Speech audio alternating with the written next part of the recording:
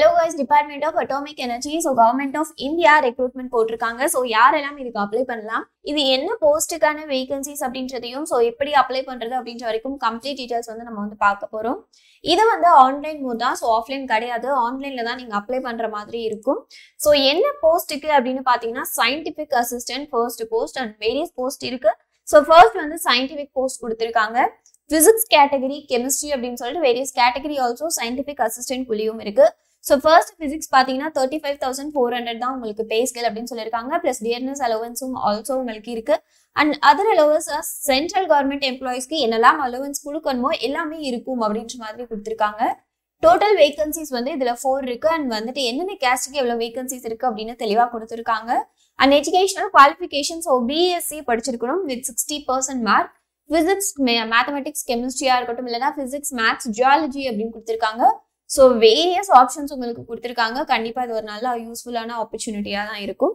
So age limit பார்த்தீங்கன்னா ஓபிசிக்கு thirty three and அன்ரிசர்வ்டுக்கு பார்த்தீங்கன்னா தேர்ட்டி என்னென்ன வேகன்சிஸ் இருக்கு? அதாவது இந்த கேஸ்ட்டுக்கு வேகன்சிஸ் இருக்கு அப்படின்னா ஸோ அதுக்கான ஏஜ் லிமிட் கொடுத்துருக்காங்க. ஸோ எஸ்சி எஸ்டிக்கு ஏஜ் லிமிட் கிடையாதா? அப்படின்னு கிடையாது. ஸோ இந்த போஸ்ட் பார்த்தீங்கன்னா ஓபிசியில் ஒரு வேகன்சி ஸோ அதனால தான் ஓபிசிக்கான ஏஜ் லிமிட்டை கொடுத்துருக்காங்க. அண்ட் அன்ரிசர்வ்டில் பார்த்தீங்கன்னா மூணு வேகன்சி ஸோ அதுக்கு அதனால அன்ரிசர்வ்டுக்கான ஏஜ் லிமிட்டை கொடுத்துருக்காங்க. அதான் வந்து டிஃப்ரென்ஸ் ஸோ அடுத்து என்னென்ன போஸ்ட்ல என்னென்ன வேகன்சிஸ் இருக்கோ அதுக்கேற்ற மாதிரி ஏஜ் லிமிட் இருக்கும். நீங்க வந்து செக் பண்ணிக்கலாம். சயின்டிபிக் அசிஸ்டன்ட் கெமிஸ்ட்ரி இதுல பாத்தீங்கன்னா ஃபைவ் வேகன்சிஸ் இருக்கு. அண்ட் பே வந்து three thirty five thousand four hundred so mostly scientific அசிஸ்டன்ட்க்கு twenty five thousand four hundred தான் இருக்கு. அண்ட் அடுத்த போஸ்ட் பாத்தீங்கன்னா ஜியாலஜி அண்ட் அதுக்கப்புறம் எலக்ட்ரானிக்ஸ் ஒரு இன்ஸ்ட்ருமெண்டேஷன் கம்ப்யூட்டர் சயின்ஸ் ஒரு information technology and electrical civil அப்படின்னு கொடுத்துருக்காங்க. ஸோ ஒவ்வொரு கேட்டகரிக்கும் ஏத்த மாதிரி நீங்க வந்து டிகிரி முடிச்சிருக்கணும். ஸோ அதை ரெப்ரசென்ட் பண்ற மாதிரி ஜுவாலஜி அப்படின்ற கேட்டகரியில பாத்தீங்கன்னா நீங்க வந்து பிஎஸ் பிஎஸ்சி ஜுவாலஜி முடிச்சிருக்கணும். அதே மாதிரி தான் எலக்ட்ரானிக்ஸ் அண்ட் இன்ஸ்ட்ருமெண்டேஷன் ஸோ இதுக்கு வந்து பார்த்தீங்கன்னா நீங்கள் டிப்ளமோ முடிச்சிருந்தா போதும் அப்படின்னு கொடுத்துருக்காங்க. ஸோ டிப்ளமோ அப்படின்ற பார்க்கும்போது டென்த்து முடிச்சிருந்தீங்க அப்படின்னா நீங்கள் மூணு வருஷம் டிப்ளமோ கோர்ஸ் முடிச்சிருக்கணும். அண்ட் டுவெல்த் முடிச்சிருக்கவங்க வந்து ரெண்டு வருஷம் டிப்ளமோ கோர்ஸ் வந்து முடிச்சிருக்கணும். ஸோ அவங்க மட்டும் தான் இதுக்கு வந்து எலிஜிபிள் அப்படின்னு கொடுத்துருக்காங்க.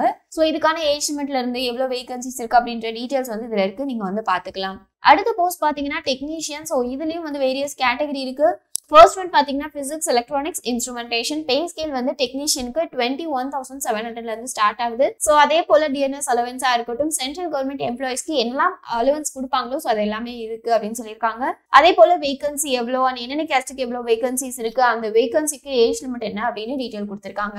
டெக்னீஷியன் பி ஸோ அடுத்த கேட்டகரி பார்த்தீங்கன்னா லேபராட்ரி ஸோ அதுக்கப்புறம் வந்து பார்த்தீங்கன்னா பிளம்பர் அண்ட் பைண்டிங் ஆல்சோ ஒரு கேட்டகரியாக கொடுத்துருக்காங்க. அதுக்கப்புறம் டெக்னீஷியன் பி பிரிண்டிங் ஆல்சோ கொடுத்துருக்காங்க ட்ரில்லிங் அண்ட் வந்து உங்களுக்கு என்ன கேட்டகரியில் போஸ்டிங் வேணுமோ அதுக்கு ஏற்ற மாதிரி உங்களுக்கான குவாலிஃபிகேஷன் இருக்கணும் ஸோ நீங்கள் வந்து செக் பண்ணிக்கோங்க. அடுத்து பார்த்தீங்கன்னா அப்பர் டிவிஷன் கிளர்க் அடுத்த போஸ்ட் ஸோ ஃபர்ஸ்ட் வந்து பார்த்தோம் சயின்டிஃபிக் அசிஸ்டன்ட் அதுக்கப்புறம் பார்த்தீங்கன்னா டெக்னீஷியன் இப்போ வந்து upper division clerk so twenty five thousand five hundred தான் வந்து இதுக்கான பே ஸ்கேல் ஸோ இதில் பார்த்தீங்கன்னா வேகன்சி சிக்ஸ்டீன் வரைக்கும் கொடுத்துருக்காங்க அதிகமாகவே கொடுத்துருக்காங்க. ஸோ அதுக்கு அடுத்த போஸ்ட் டிரைவர் ஸோ இது வந்து ஒரு ஆர்டினரி கிரேட் அப்படின்றதுனால ஸோ டுவெண்ட்டி தௌசண்ட்லேருந்து உங்களுக்கு ஸ்டார்ட் ஆகுது. ஸோ அதுக்கப்புறம் டோட்டல் வேகன்சி பார்த்தீங்கன்னா தேர்ட்டீன் தான் இருக்கு அப்படின்னு சொல்லியிருக்காங்க. ஸோ இதுக்கு வந்து நீங்கள் டென்த் ஸ்டாண்டர்ட் முடிச்சிருக்கணும். ஸோ ஹெவி அண்ட் லைட் ரெண்டு வெஹிக்கிள்ஸுமே டிரைவிங் லைசன்ஸ் இருக்கணும் அப்படின்ற மாதிரி கொடுத்துருக்காங்க. ஸோ உங்களுக்கான எக்ஸ்பீரியன்ஸ் த்ரீ இயர்ஸ் இருக்கணும் அப்படின்னு கொடுத்துருக்காங்க. ஸோ என்ன போஸ்ட் வேணுமோ அதுக்கு ஏற்ற மாதிரி எசென்ஷியல் குவாலிஃபிகேஷன் இந்த பக்கம் இருக்கு. இதை பார்த்துட்டு அப்ளை பண்ணுறது ரொம்பவே நல்ல விஷயம். ஸோ அதுக்கப்புறம் செக்யூரிட்டி கார்டு அப்படின்ற போஸ்ட் ஆல்சோ கொடுத்துருக்காங்க. எயிட்டீன் தௌசண்ட் உங்களுக்கான பே ஸ்கேல் இருக்க போது. ஸோ செக்யூரிட்டி கார்டாக இருக்கட்டும் டிரைவராக இருக்கட்டும் சயின்டிஃபிக் அசிஸ்டன்ட் வரைக்கும் எல்லா போஸ்ட்டுக்குமே டியர்னஸ் அலவன்ஸாக இருக்கட்டும் சென்ட்ரல் கவர்மெண்ட்டுக்கு கிடைக்க வேண்டிய அலவன்ஸாக இருக்கட்டும் எல்லாமே இருக்கும் அப்படின்னு கொடுத்துருக்காங்க.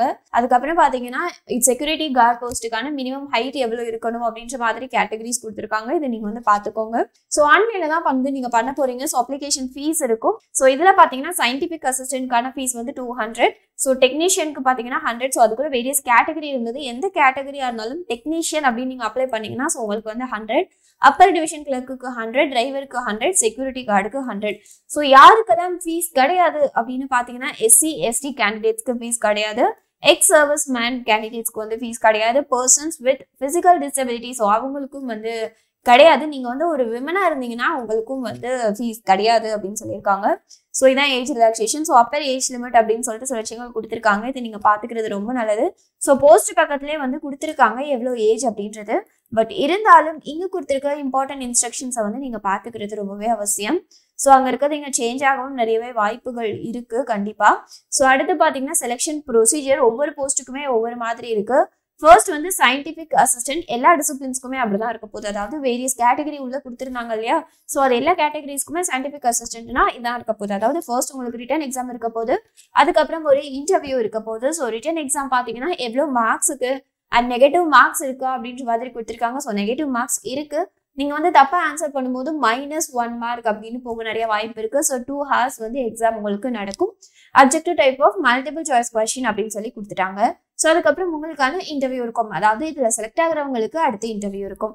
அடுத்து பார்த்தீங்கன்னா டெக்னீஷியன் ஸோ இந்த போஸ்ட்டுக்கு பார்த்தீங்கன்னா ஃபர்ஸ்ட் ப்ரிலிமினரி டெஸ்ட் இருக்குது அதுக்கப்புறம் அட்வான்ஸ்டு டெஸ்ட் இருக்குது அதுக்கப்புறம் பார்த்தீங்கன்னா ஸ்கில் டெஸ்ட் அப்படின்ற ஒரு விஷயங்கள் இருக்குது ஸோ ஒவ்வொன்றுக்கும் எந்த மாதிரி எக்ஸாம் நடக்கும் எவ்வளோ கொஸ்டின் இருக்கும் அப்படின்ற மாதிரியும் மைனஸ் மார்க் வந்து எல்லா எக்ஸாம்லேயும் இருக்குது இந்த போஸ்ட்டில் பார்த்தீங்கன்னா ஸோ அதுக்கப்புறம் ஸ்கில் டெஸ்ட்டில் என்ன நடக்கும் அப்படின்ற மாதிரி கம்ப்ளீட் டீடைல்ஸ் கொடுத்துருக்காங்க. அண்ட் ஒவ்வொன்றிலையும் வந்து ஷார்ட் லிஸ்ட் பண்ணுவாங்க ப்ரிலிமினரியில் எழுதுறவங்க பாஸ் ஆகி அதுக்கப்புறம் அட்வான்ஸ் டெஸ்ட் போகலாம் அங்கேருந்து பாஸ் ஆகி ட்ரேட்ஸ்க்கு ஸோ அதுலேருந்து பாஸ் ஆகுறவங்களுக்கு போஸ்டிங் கிடைக்கும். அடுத்த போஸ்ட் பாத்தீங்கன்னா அப்பர் டிவிஷன் கிளர்க் ஸோ இதுக்கு பாத்தீங்கன்னா ரெண்டு லெவல் ஆஃப் எக்ஸாம் இருக்கு. ஃபர்ஸ்ட் ஒன் வந்து அப்ஜெக்டிவ் அண்ட் செகண்ட் ஒன் வந்து டிஸ்கிரிப்டிவ் அப்படின்னு சொல்லியிருக்காங்க. ஸோ அப்ஜெக்டிவ் எப்படி இருக்கும்? அதாவது எவ்வளவு மார்க்ஸ்க்கு இருக்கும்? என்னென்ன கேட்டகரி உள்ள இருக்க போது general English general knowledge general intelligence and reasoning quantitative aptitude so each வந்து twenty five twenty five questions அப்படின்னு சொல்லிட்டு மொத்தம் ஹண்ட்ரட் கொஷின்ஸ் உங்களுக்கு இருக்கு.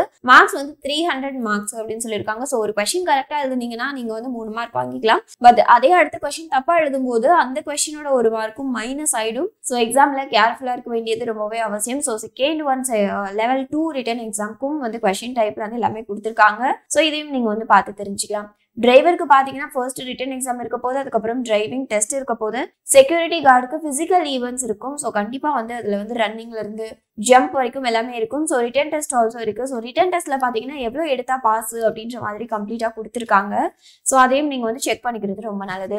ஸோ லாஸ்ட் டேட் இதுக்கு எப்போ அப்படின்னு பார்த்தீங்கன்னா நாளைக்கு தான் last date so twenty four October அப்படின்னு கொடுத்துருக்காங்க. ஸோ வந்து நீங்கள் அதுக்கப்புறம் ஃபீஸ் பே பண்ணால் கூட அப்ளை பண்ணிவிட்டு ஃபீஸ் பே பண்ணால் கூட கண்டிப்பாக அதை எடுத்துக்க மாட்டோம். ஃபீஸும் வந்து நீங்கள் நாளைக்கே பண்ணணும் அப்படின்ற மாதிரி சொல்லியிருக்காங்க. ஸோ வந்து பார்த்துக்கிறது ரொம்பவே அவசியம். எக்ஸாமினேஷன் சென்டர் எங்கெல்லாம் இருக்கும் அப்படின்ற டீட்டெயில்ஸ் கொடுத்துருக்காங்க. ஸோ சென்னை அகமதாபாத் பெங்களூர் அதுக்கு அதுக்கப்புறம் கவுஹாத்தி லக்னோ அப்படின்னு சொல்லிட்டு ஒரு சிக்ஸ்டீன் சென்டர்ஸ் வந்து கொடுத்துருக்காங்க. இதை வந்து நீங்கள் உங்களோட எலிஜிபிலிட்டி செக் பண்ணிக்கோங்க. எல்லா விஷயத்தையும் செக் பண்ணிவிட்டு அதுக்கப்புறம் நீங்கள் அப்ளை பண்ணுறது ரொம்ப நல்லது. எசென்ஷியல் குவாலிஃபிகேஷனாக இருக்கட்டும். அதுக்கப்புறம் உங்களோட எக்ஸாமினேஷன் சென்டர் அப்படின்னு கம்ப்ளீட்டாக செக் பண்ணிவிட்டு அதுக்கப்புறம் அப்ளை பண்ணுங்க. அண்ட் கண்டிப்பாக இந்த மாதிரி யூஸ்ஃபுல்லான இன்ஃபர்மேஷன் நாங்கள் ஷேர் பண்ணுறோம் ஸோ மறக்காம நம்ம சேனலையும் சப்ஸ்கிரைப் பண்ணிக்கோங்க.